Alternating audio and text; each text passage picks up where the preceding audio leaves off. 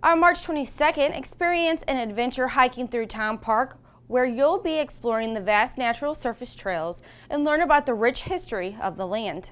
Guests begin the hike by touring the restored 1830s homestead at 1.30 p.m., where you'll learn about the families who once owned this 109-acre parkland. After the tour, guests will be led on a short guided hike through the park. The next hike will be on April 12th at Bromwell Park. These events are free.